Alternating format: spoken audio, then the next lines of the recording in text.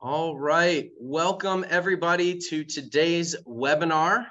We're just waiting for a few more people to join us here. Everybody's starting to kind of flow in. So we'll just give everybody a little bit of time here to join the webinar. Appreciate everybody taking the time today. While everybody's joining, um, joining the webinar here, if you could go into the chat or in the Q&A box, just let me know if you can hear me okay, if you can see me all right. I'll give you a big thumbs up there so we can see if the video is moving here. Um, just drop something in there. Let me know that you hear me loud and clear. Thumbs up. Thank you, Chris. Tate, yes and yes. Thank you. Katie, awesome. Thank you, everyone, for letting me know. We are good to go. Well, just to keep us on time here, we'll go ahead and get this webinar started. We've got a good number of people on. Uh, I'm sure we'll have a few more flowing in here as we go along. Uh, my name is Matthew Shoemaker. I'm the product and partner marketing manager here at Banyan Technology. I'm going to be your MC today, kick off the webinar, and then I'm going to hand it over to our very uh, talented hosts here. Um, we're going to be talking about seamless shipping solutions how to combine best in class over the road and parcel technology. We invited our friends over at ProShip onto the webinar here to help uh, share some awesome information and to, uh, yeah, cover this amazing topic here. So again, I'm gonna go through a little bit of housekeeping here. So we are recording this webinar. It will be sent out to you within 72 hours. Um, so you can always count on that coming through to your inbox. For a better experience, an audio and visual experience, we do ask that you close out anything that could be updating in the background. Uh, if you have an email box open or a chat, sometimes they're up updating in the background and always getting messages through, uh, which can interfere with the experience a little bit and cause audio and visual lag. So please do take a moment to close those out. And lastly, we love questions. So please do engage with us throughout the webinar. Um, pop your questions in the Q&A box there. Um, and then we'll go ahead and do our best to answer as many as time permits. And we have a slot at the end of this webinar as well uh, to catch as many as we can. So without further ado, I'm gonna go ahead and hand this over to our very capable hosts. Alan, you there? Yes, sir, I am. You hear me? Oh, I can hear you indeed. good, good. Thank you, Matthew. I appreciate you launching this. Uh, I'm excited to do this. I and I, am more excited I appreciate the topic, but one of my all-time favorite people, Justin, and I say all-time favorite, we've been recent friends, I think is the way to say it, Justin, as our companies have worked together. Fascinating man. If you outside of this, if you ever want to talk to him about, geez, whatever, it's uh, it's cuisine, art, jazz, and we went down a crazy nuclear power thing one time. That was fascinating to me as well. But Justin Cramer is my co-host with ProShip. Welcome, Justin. I'm glad you're, you're, you're joining us. Thank you, Alan.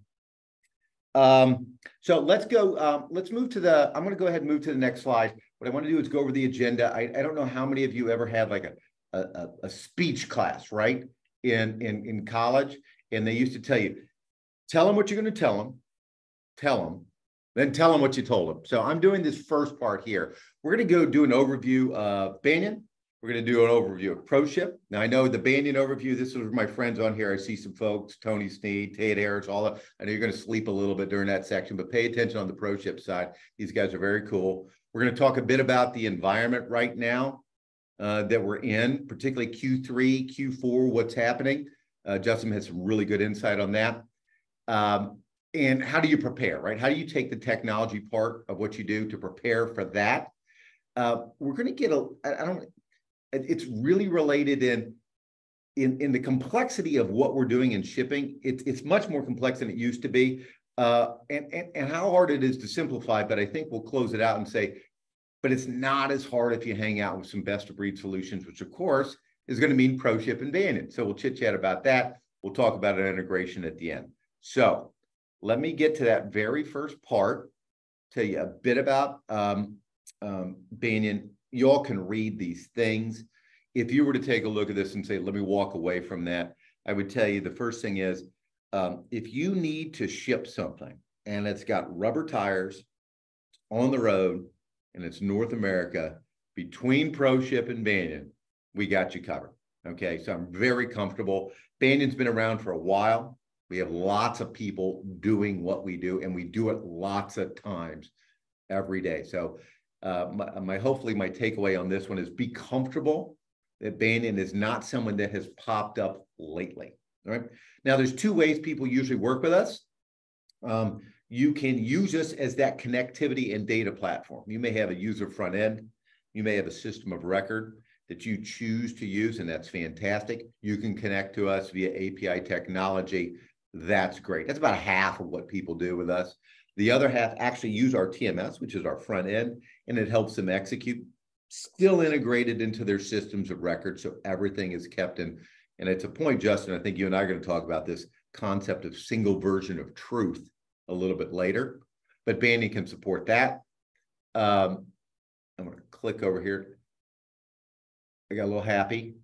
Um, so it's the, the obligatory um, uh, brag slide. But if you were to take away that the concept of that, I want you to think there's three groups. If you were to look at it, you consider and say, hey, there's some direct shippers in that group.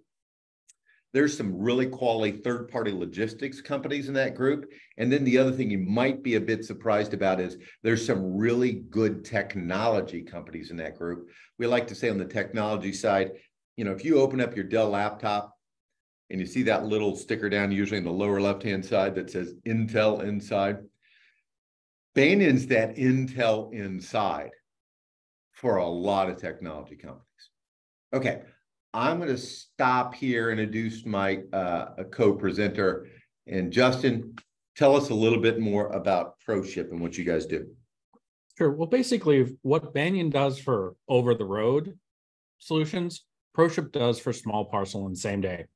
So just like Banyan, we'd love to have an enterprise software stack to communicate to or from we have the ability to present multiple interfaces, whether they be technology only or whether it be a rich client that sits on, on a workstation in a warehouse, in a store, something of that nature, in order to help provide value to your small parcel execution.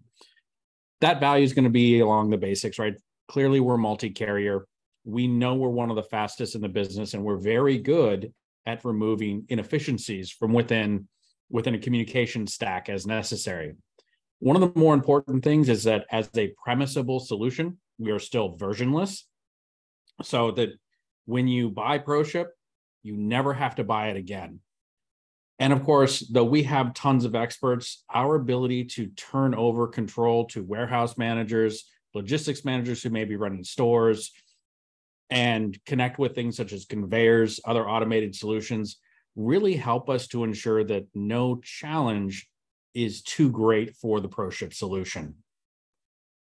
And when you want to think about that, on our next slide, we're going to show the where you might want to leverage something like ProShip. So most people know ProShip for retail because retail has one of the simplest complexities to understand.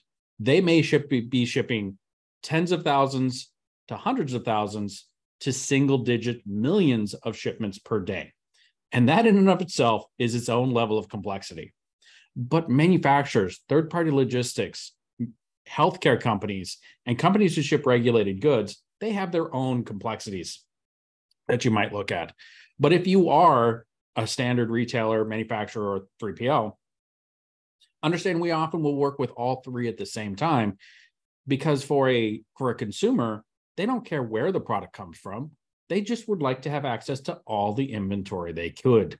So that's one of those things where we lo- work with a lot. And as you can see, the, the feeds and speeds on here, uh, we do work with a very large number of the largest retailers out there. That being said, we also work with many manufacturers that, that are doing direct to consumer. And we also work with the third party logistics providers. Well, because let's face it, they provide support to these retailers and manufacturers in order to allow for the best consumer experience out there. So, with that, there's a lot we can help any company who's actually shipping small parcel to do. Now, let me throw it back over to you. Well, I, I do want to highlight one thing. If you look at the green box up the top, I know that's subtle. That should be screaming out loud. So, Oscar, some of my folks that are here, we're talking with you about doing, you know, 30% of the top 100 retailers trust mm-hmm. There's a reason why Banyan has chosen to work with ProShip, and we're very pleased about a relationship. This, you know, they are the best in the business. Justin's not going to say that out loud every time, so I will say that for him. They are the best in the business, and we're super excited about that. Okay, so I just wanted to call that one point out. Um, Appreciate it. Um, so this is a part where Justin and I are going to, and mostly Justin and I are going to riff a little bit on this.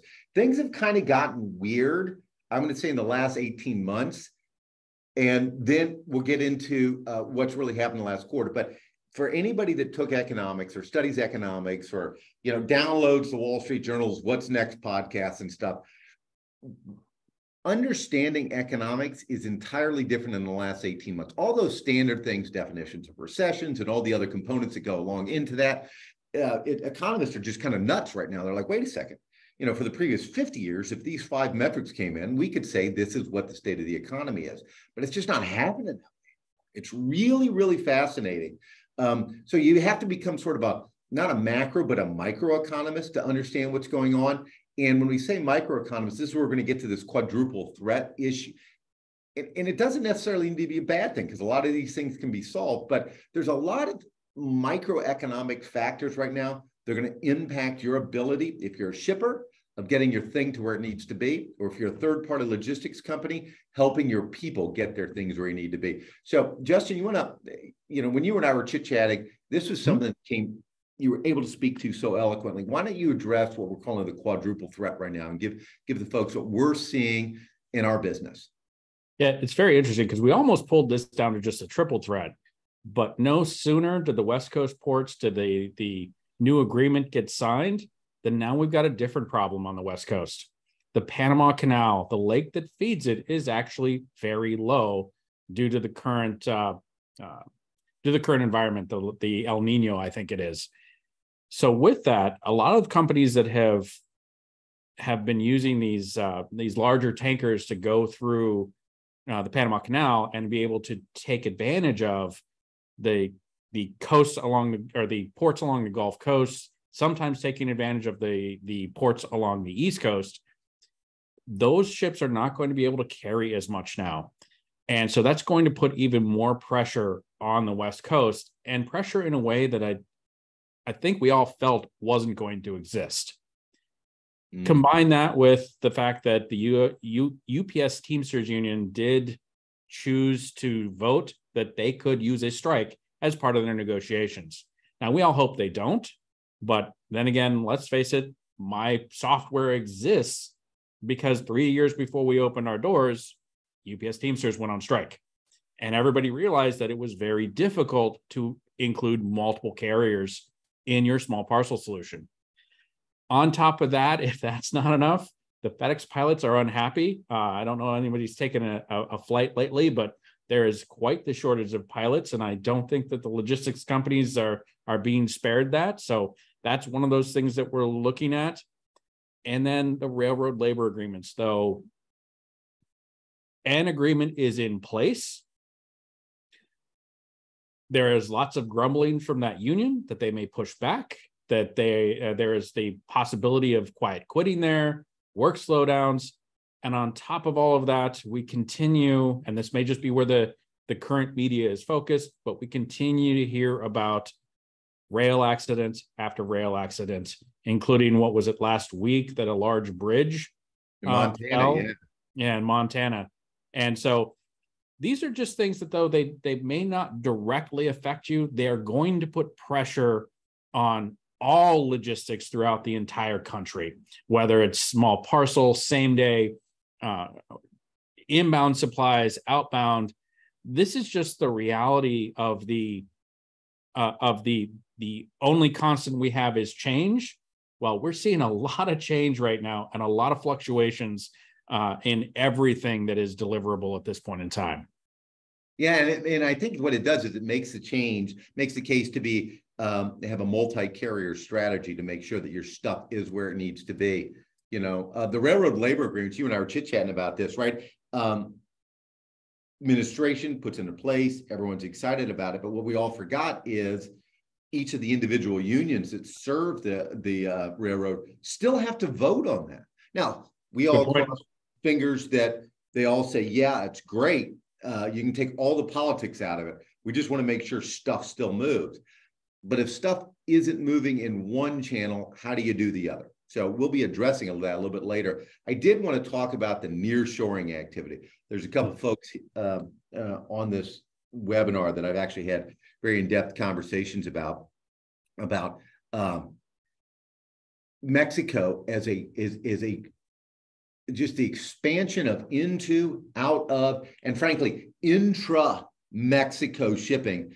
Um, it, it's hard to um, it'd be hard to overstate the increased level of activity.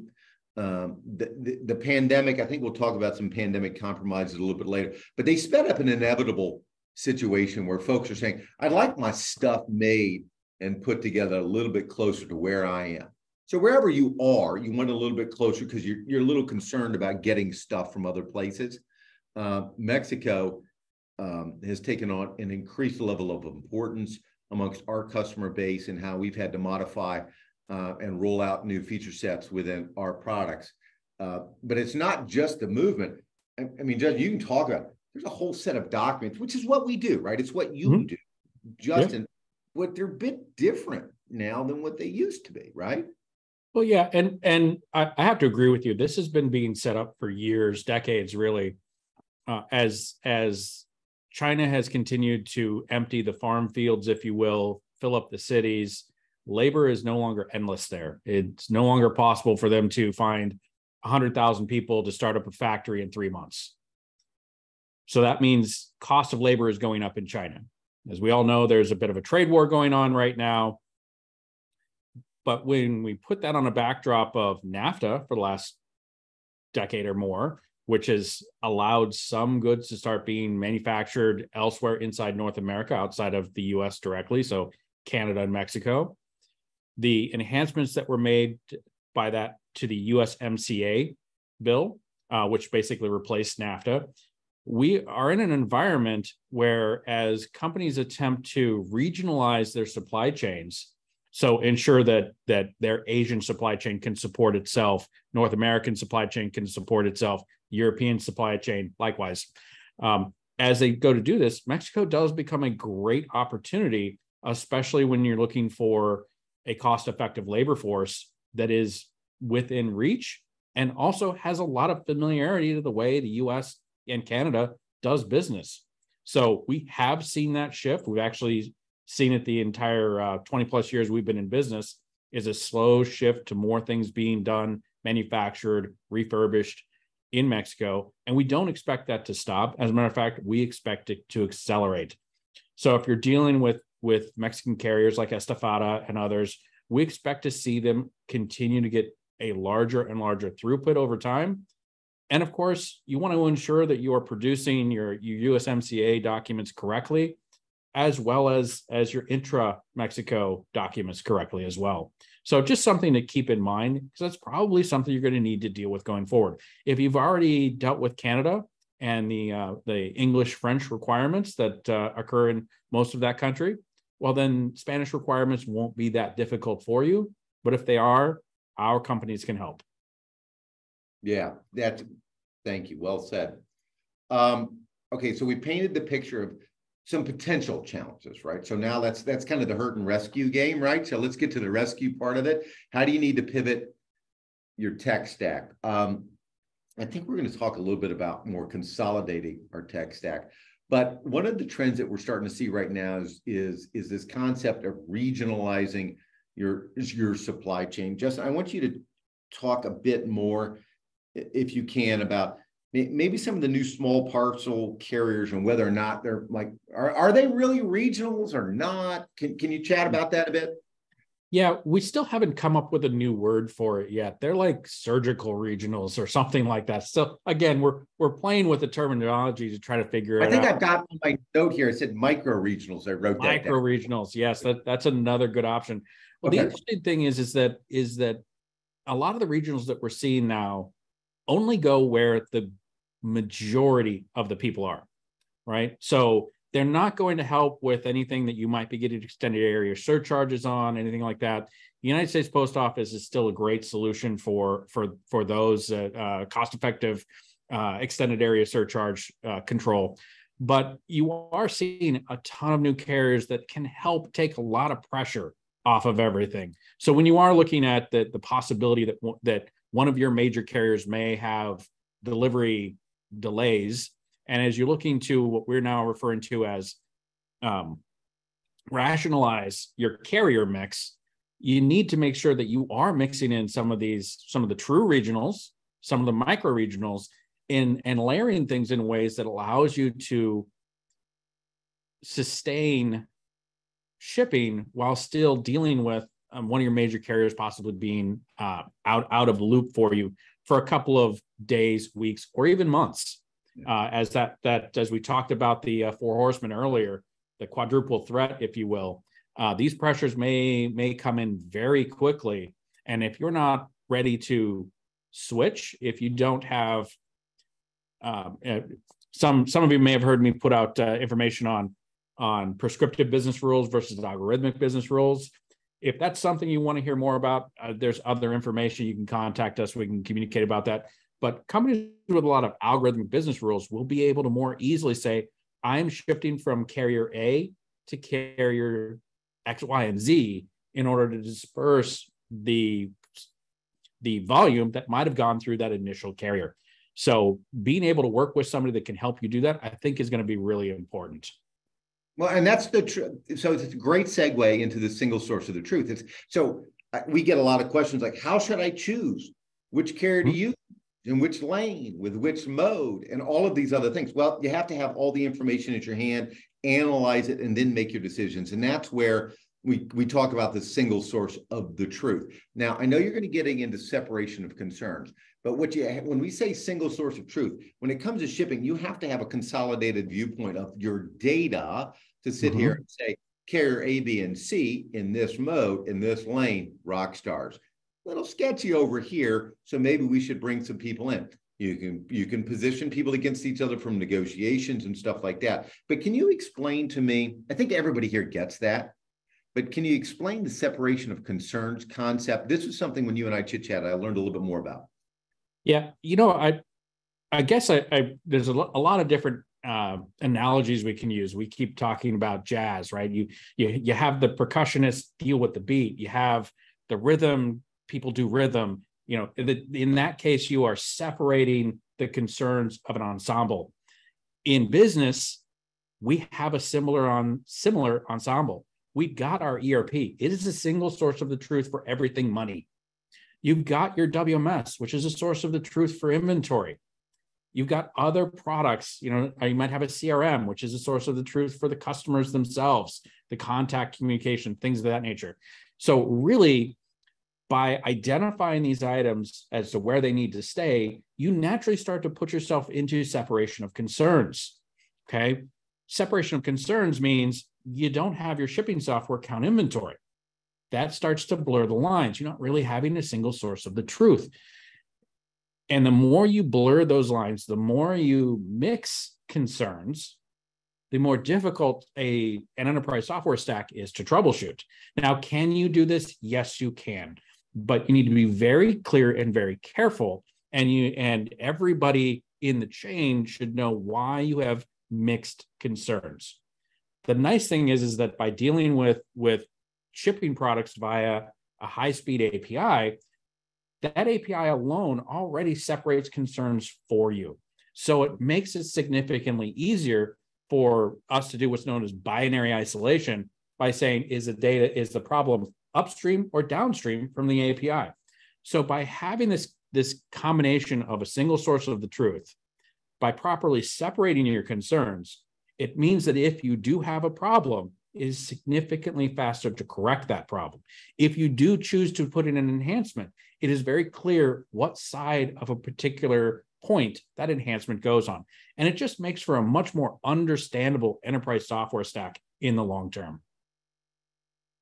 Well, you just talked to, I'm going to switch this up, right? You mentioned jazz. So let me just change this around for you, right? We're going to riff on something else.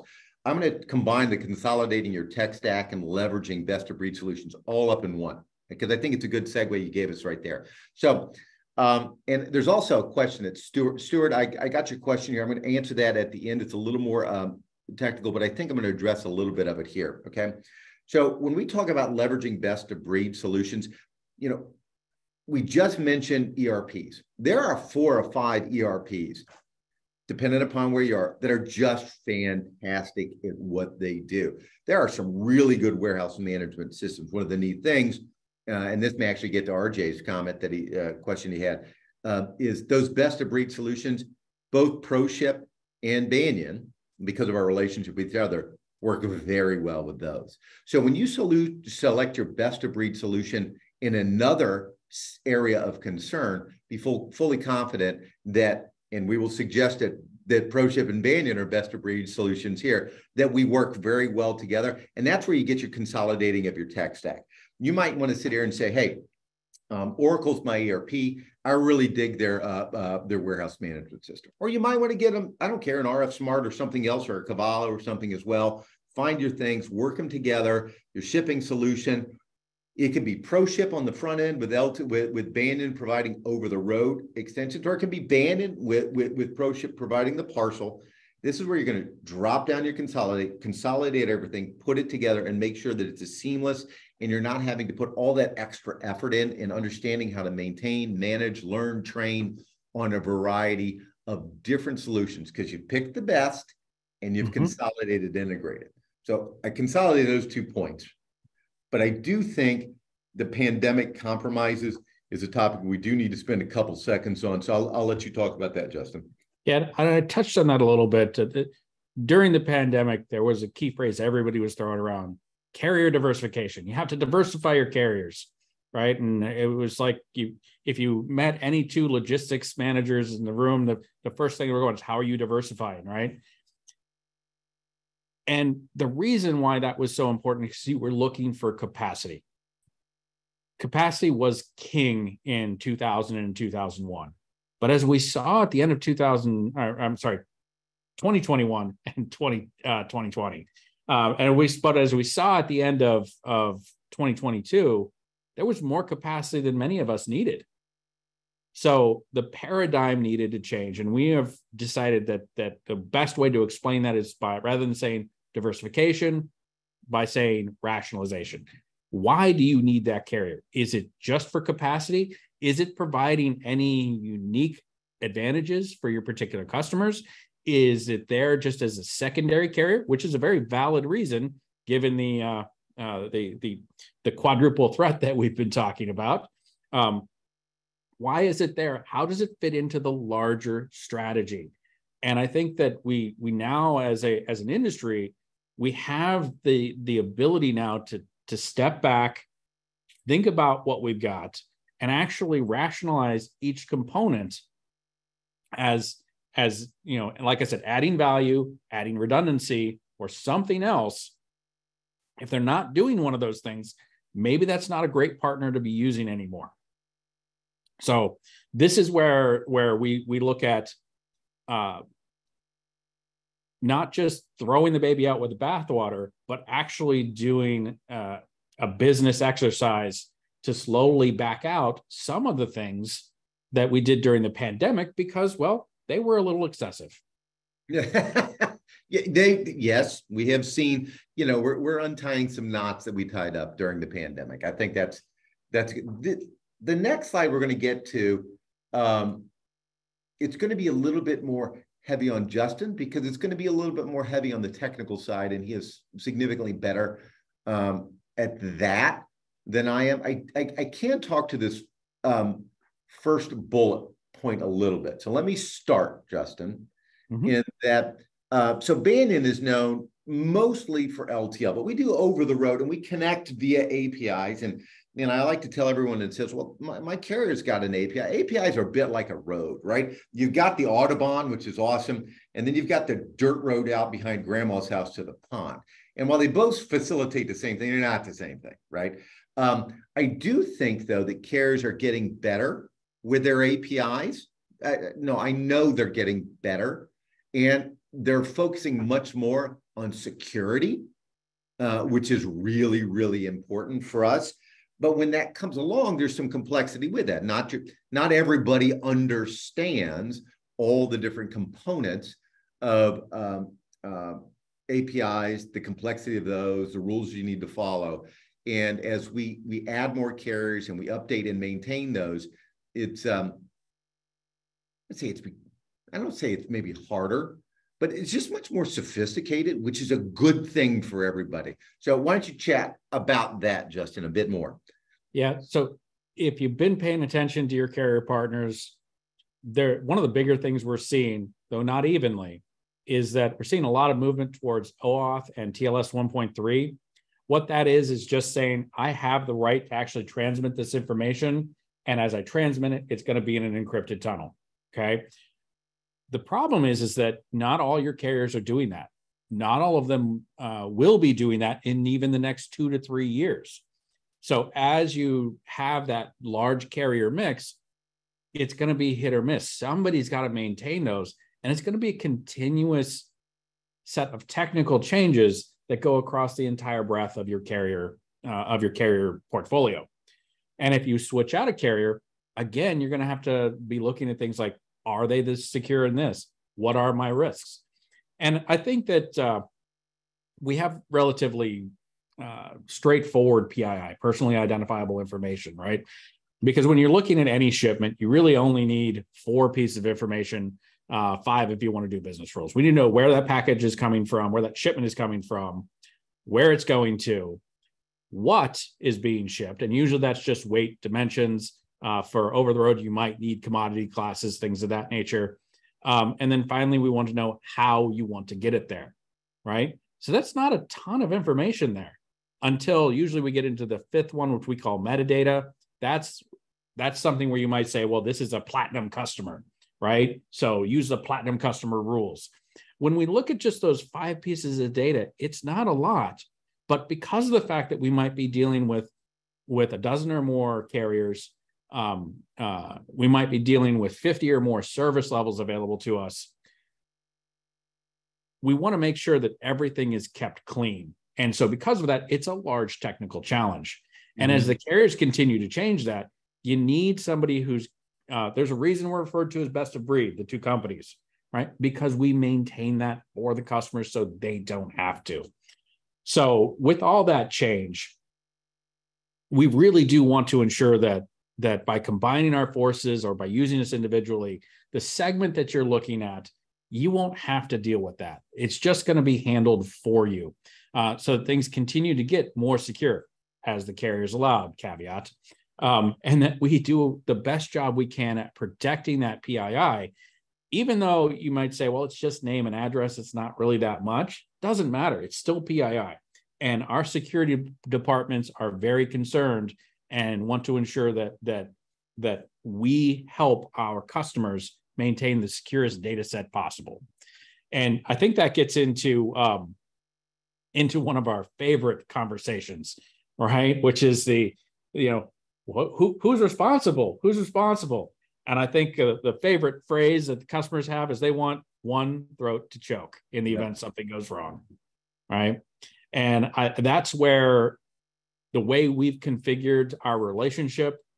Um, you can use ProShip through Banyan. Banyan is your point of contact. You can use Banyan through ProShip. ProShip is your point of contact. So whoever is your point of contact has that responsibility to solve the problem for you. None of this stuff pointing in either directions going, oh no, that's carrier A's, carrier B's problem. Yeah, and um, that goes back to the consolidation of the tech stack. There's also a consolidation of the service environment, the customer service environment. And I think that's one of the reasons we've been so successful together on that. Um, I do want to, um, you know, I think Matthew, you send us, if I'm looking at this, we got, we got a couple minutes. I'm going to maybe speed this up a little bit, but I do want to talk about the normalizing the data. We can talk about some of the other stuff a little bit different, but let me give you one example of how we do it and why this is super important. So if anybody's ever seen an EDI 210 or a 214, it's like cartoon swearing, right? No one understands what the hell it is. That's part of what Banyan does. When we ingest that, the first thing we do is we make that normal human language It allows people to understand the information, It allows us to share that information with companies like ProShip or with systems of records. I know, Justin, that there's some normalization that you guys do on your ProShip side it seems a little technical, but just a light touch on how you take really um, vast amounts of data written in non-person language, right? And turn it into a way that other people can consume it and take action on it. Well, there's, a couple of different ways you can go about that, about thinking about that, but I'm going to go back to separation of concerns. Um, the reason I'm bringing that back in is because one of the big things you want to look at for separation of concerns is having a good contract between the components. So when you're reaching out to Banyan, the structure of that data is the contract. And does not matter how, let's say, Saia, um, uh, YRC, I'm sorry, they're yellow again, uh, y, yellow, uh, XPO, how they need to receive the data. That's handled on the back end.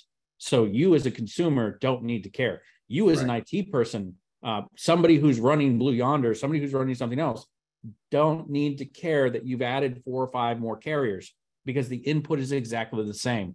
And that, um, like I said, that goes hand in hand with uh, uh, separation concerns. The great set of separation concerns has a great contract. Um, you know, they say that that uh, fences make great make for great neighbors. Well, fences around IT products make for really great tech stacks. Yeah, that's well. I like it. Well said. Let me move to our next slide uh, on this. Um, I think you talked about it. You, you talked about the reality is that you know you were talking about the elements of, of yep. what a shipment. Shipments really are shipments. I know we create these, the industry has these mode specifics, but you've got a thing or a box of things or a pallet of things or a truckload of things that need to go from some place to the other. There's some sophistication with different different modes, but when you if you've got the right tech stack in the shipping, it's really just moving things from one place to the other on that. Now, carrier connectivity is getting more complex, but I don't want us to get scared about the complexity. I think actually the complexity that they're bringing to the table, and I can't believe I'm going to say this out loud because I'm usually not a fan, fan of regulation and complexity, but it's good. It's actually protective, right? There are many ways in which we can help break out that data, allow us to do a little bit better analysis, compliant with government rules and regulations, particularly when it comes to international shipping and stuff. So um, the one concern though you're going to get about this, and maybe you can touch on this, well, it's maybe the two. We've got there's a lot of people saying they can do a lot of things. I think pandemic came into that, particularly on tracking it and visualization, right? That was just the coolest thing in the world. If I knew where my shipment was, I mean, that was the mm-hmm. most thing. But one of the things most people don't think about is what what Justin and I were just talking about is there's this complexity, complexity, complexity, the tech stack and everything. You know, you do need to have some folks figure out how to wire this stuff together, particularly with the changes coming, right, Justin? Agreed. And and I think our mutual theory is always let's have those people do what people are good at. Right. Let's not have them try to memorize all these things Let's let the software do that. Software is good at boring, redundant things, such that your labor can be as engaged as possible. You can mm get as much, as many units or or uh, um, line items per order done per day as possible by automating everything that should be automated and letting the humans do what humans are good at deciding that box is broken uh, deciding how to how to pack that box or present that box in a way that's going to be pleasing to whoever opens it um, uh, re uh, in, ensuring that they stack that pallet in a way that that uh, uh, not going to crush everything on the bottom, but is also going to um, make it easy to unload. Know, these are all human things. We're good at solving those puzzles. They challenge us. Remembering exactly what the fuel surcharge uh, percent discount is for for zone three is not something that humans are good at. Yeah, yeah. So what I'm hearing you say is let's leverage, let's actually place greater value on that institutional tribal knowledge that you have. Maybe it's in the warehouse at the shipping station and things like that. So if we can get best of breed, consolidated tech stack that automates 80%, it's that last 20% mm-hmm. that requires human innovation that's going to separate our people. It's going to separate our our, our, our uh, customers from their from their their uh, competitors. Um, let me move into um, I think maybe this might be the part where we're going to talk a bit about.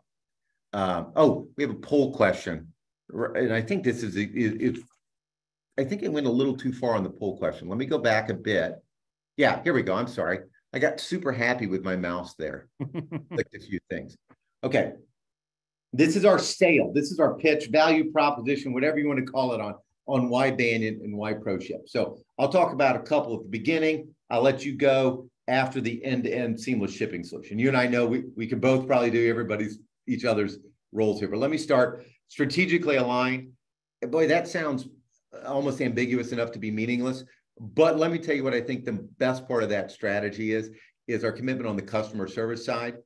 Um, companies that join us stay with us. And that's on both parts. That was super important when we were looking to work with someone. And I know when we spoke with, with, with you, Justin, that we wanted to make sure that we partnered with someone. The technology aligned really well, which was mm-hmm. nice. Mm-hmm. But but but the environment, uh, the culture aligned really well. Um, look, when we were we, we had a lot of our customers, I'm looking right now at the list of people that are that are on this. There are several of them our customers, and you told us, you know, if you're going to expand this, make sure you do it with some really good, cool people. Uh, that's why ProShip's here. Uh, I talked about our customer centric values. I think the other piece is, um, Justin, you mentioned you can have a ProShip front end with some Banyan helping on the back end, or vice versa. We've experienced that right now in some rollouts and it's gone really really well. It's not we, we haven't had any hiccups in it. I've been pre- i've been pretty pleased with, with, our rollouts and how it's been supported. Kind of like we're both best of breed or something. Yeah i know. Boy how that fit in here right yeah. We we've we, the partnership has worked very well. We we do definitely um the i think the idea is that we both focused on boiling down what is needed by our customers. And we both came up with uh, with a similar you only need five things to ship anything um, but you need the uniqueness within each carrier to communicate and take advantage of them. And i'm, I'm gonna I, I love to keep bringing back the technical term separation of concern the reality is is while you, you guys found a niche focused and doubled down on over the road shipments ProShip found a niche, found it, the the uh, gathered the skill set, and we focused on small parcel, which rolled us into same day. So mm-hmm. the reality is is that is that we we we kind of both started at the center, right? Just at the at that warehouse door. And we went ahead and we went different directions from that warehouse door, which makes our, our technologies fold together very well because you know all the idiosyncrasies of, of what FAKs are and and commodity classes and what might qualify for this, that, and the other thing. How to communicate, like you said, with an EDI X12 uh, to a carrier because they still require that for some reason. Um, meanwhile, we are focusing on on the newer APIs that are coming out, as well as the ability to do high speed premise execution for conveyor based solution. So as we continue to look at the strengths that each of our companies have brought together, because we've isolated in those areas, it does allow for a great uh, end-to-end solution when we're done to cover anything that's going to go out a warehouse door or potentially walk out the front of a store. I want to get to. Um, we're going to run this poll question. I think, um, Matthew, if you guys want to pop this up, because I'm getting a lot of questions. When I'm looking at my questions here, and we're going to try to get as many of these as we can. Um, I, I, keep, I just keep getting it. I'm glad, Matthew, we had the poll question. You, yeah, you thought this through really well. Uh, how do we engage you? So th- this is the quickest way. Answer this poll question that we have up here and tell us, you know, do you want to talk to, don't worry, we'll have someone besides me on this call with you. All right. So we'll get someone that can go a little bit more in depth, but do you want to chat with, uh, uh with the Banyan team with the pro or, or both? That'd be awesome if you wanted to chat with both. So we'll keep this up. Uh, um, while we're doing this and we have this poll question up, Matthew, is it okay if I just jump to a couple questions right now? Do you think? Yeah, absolutely. We'll leave this up here for another two or three minutes, and then we'll uh, we'll go ahead and end it. And yeah. So let, let me hit. I'm going to hit a couple that I know I can answer real quick. So that'll be just a few. Um, um, so Mario, I understand who you are and what you're doing. You're asking, do we do we integrate or utilize third-party platforms such as? I'm not going to name the names because those are our competitors. No, we do that. We are three times more carrier connected than the people you brought up on the screen right there. Okay. I have 330 LTL API connections put into place. ProShip has the most parcel connections globally of any other company around. So uh, you certainly could call those people you put there, but we don't use them because we uh, we we replace those. To be quite frank with you, okay. Um, I do see one. I actually I see three here about integrations, SAP, Blue Yonder, Oracle, see Salesforce. Here, here's the deal. Um, we probably have already connected with all of those, but if not, it's not really an issue. We publish our APIs out. Either people have uh, staff there or partners to integrate, eh, or, we do it. We're probably integrating. We may have eight to ten integration projects right now. They're not super long, 18 to 20 week projects. Just not the way it is. We're very, very good at the technology and how we put it together. So I can't answer all of these. Are we integrated with those? But I, I can tell you, um, if we aren't, it's not that big a deal. We can be. Um, we hit Stuart's question? Yeah, can you do that one? Yeah. So here's again, I'm going to bring up my favorite phrase of this one separation of concerns. Our recommendation is that you do not do address validation at the scale. Okay. So that could be as you're building the pallet, that could be as you're putting everything in the box. Our recommendation is that you push address validation, including RDI, up all the way to the customer if you can. Now, 3PLs can't always do this. So we've recommended you import the data, you leverage an API. ProShip does offer a third party APIs in order to allow for address validation. Um, but as as Stuart mentioned here, a lot of, of packages don't have the right address, and most importantly, they may not have appropriate residential indicator. That's mm-hmm. important because in the United States, we the carriers are charging more for residential deliveries if you're doing a residential delivery with LTL, you probably need a lift gate. You probably need yeah, yep. all these other things. Um, and you may actually have to move to a smaller truck to actually get it to fit in that neighborhood, uh, depending upon where it's going to. So that that RDI or residential delivery indicator is really important. But best practice is to do that address validation. Um, even if you're leveraging a, uh, the uh, ProShip API or Banyan API to do that, to do that address validation as close to the customer as possible, preferably in the cart if you can. All right. Oh, real quick, Alan, I'm going to go ahead and just end this poll. Thank you to everybody who has submitted that. Uh, we're going to have somebody from our teams uh, be in touch right after the webinar with you um, as quickly as we can get them out to you. So. All right, so then let me move to the next slide, which is our question slide, right? This is my favorite slide because we're already there.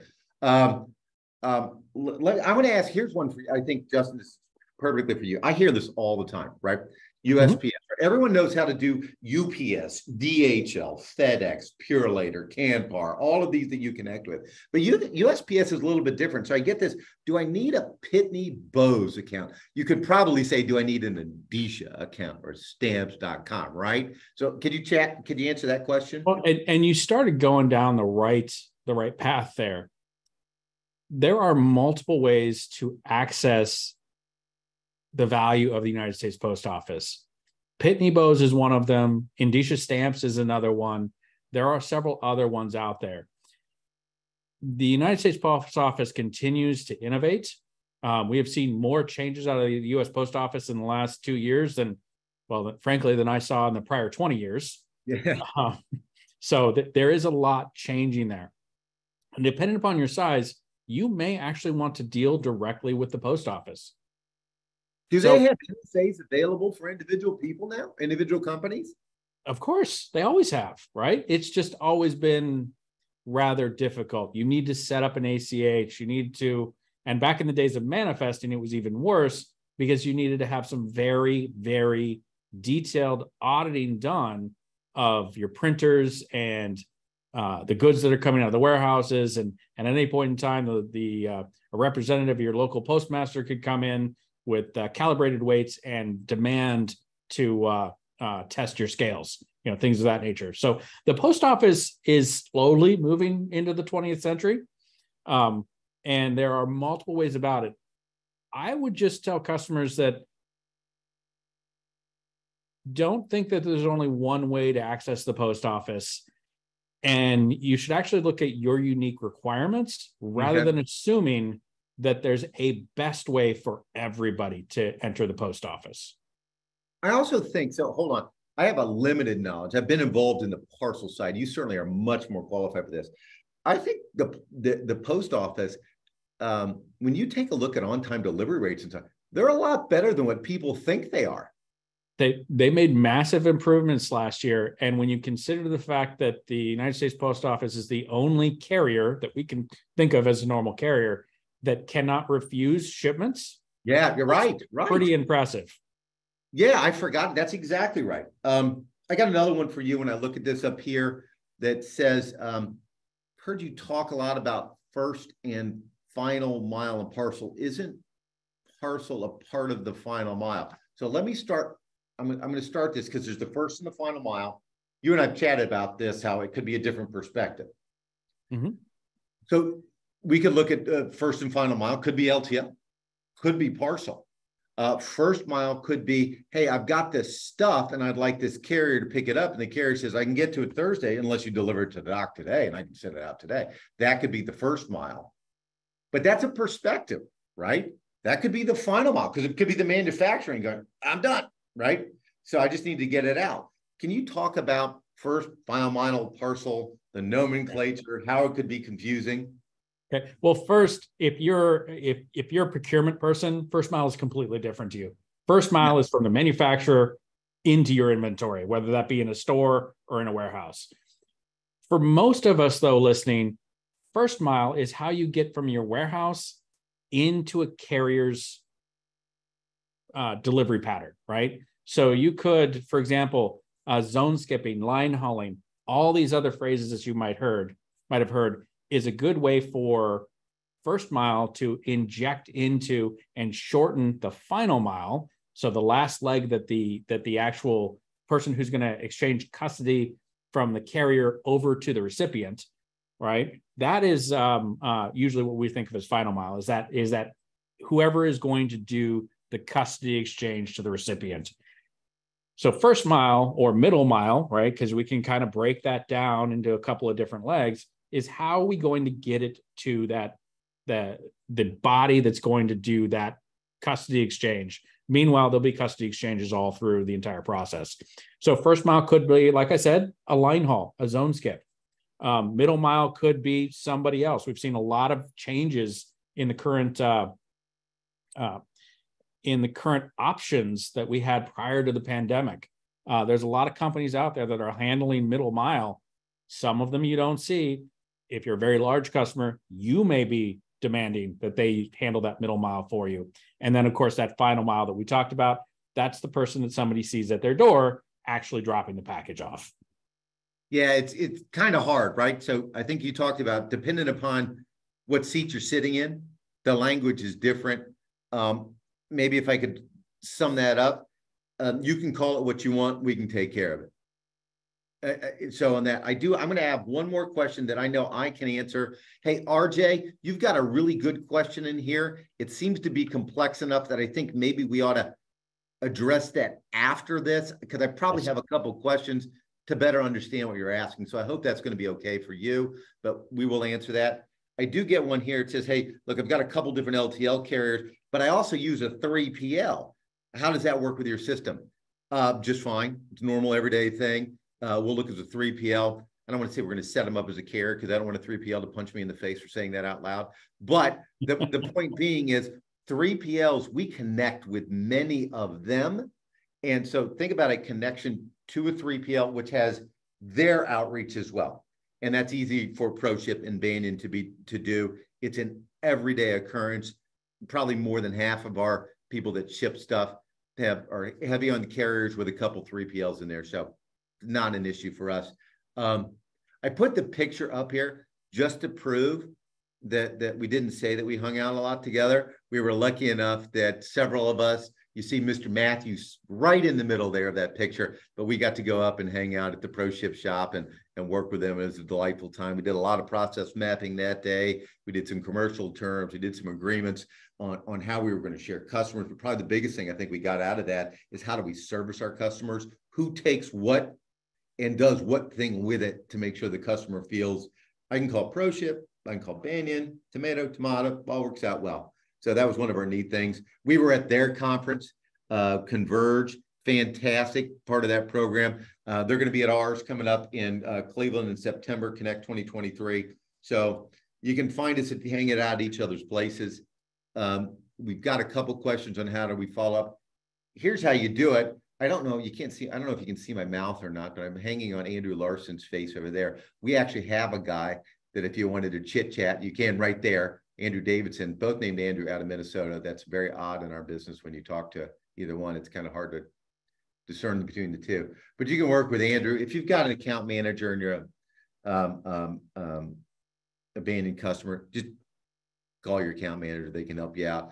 ProShip, they've got it down pretty tight. Dave's there, his whole group, Tony, the whole group there. But if you just reach out to the ProShip team at sales at ProShip, they are really good in how they uh, uh, assign you someone's going to answer your questions. Um, I think we have three minutes left, Justin. Uh, I think we've done a really good job fitting it within our hour. Well done, yeah. sir. Do you have yeah. any final statements you want to say before we close this out, buddy? Of course, I want to thank you for inviting us. Uh, we're very happy to be partners with you. We're very happy to try to help explain that partnership to all y'all who have uh, joined us for this. And uh, I look forward to continuing to work with Banyan and, well, anybody who's uh, uh, on this webinar as well in the future. Thank you. Hey, thank, thanks, Justin. Always love hanging out with you. Matthew, thank you very much for uh, keeping us on time, on track, putting the other stuff. I'll let you close it out, okay? Yeah, sounds good. Thank you so much, everyone. Again, the replay will be sent out within 72 hours here to everybody on the webinar. Thanks again for attending. Bye, everyone.